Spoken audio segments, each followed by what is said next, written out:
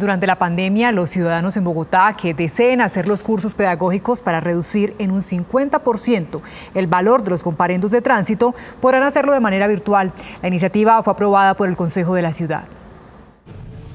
Varios conductores infractores en Bogotá tienen incertidumbre al no saber cuándo podrán realizar los cursos pedagógicos y poder acceder al 50% de descuento en sus multas. El pasado 3 de junio yo fui multada por mal parqueo eh, estando en la 44 con 13. La notificación me llegó el 5 de junio eh, realicé el pago de la infracción dentro de los eh, días estimados para el descuento, pero en el momento no he podido realizar, digamos, el curso y pues estoy angustiada. Y para dar mayores facilidades a quienes se les ha impuesto un comparendo entre el mes de mayo del presente año a la fecha, para que puedan realizar los cursos pedagógicos, el Consejo de Bogotá aprobó un proyecto de acuerdo que tiene por objetivo que dichos cursos se realicen de manera virtual y cuando finalice la pandemia se puedan realizar presencialmente en horario nocturno.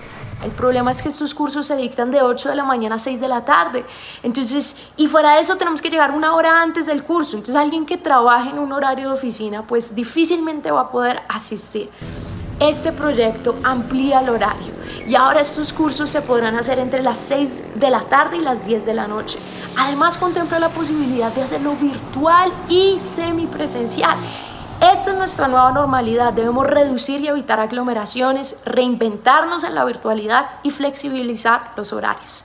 Estamos avanzando en la apuesta de ser una ciudad 24 horas. La Secretaría de Movilidad confirmó que desde que empezó la pandemia en marzo, los cursos pedagógicos presenciales están suspendidos y se reactivarán cuando pase la emergencia sanitaria por el COVID-19.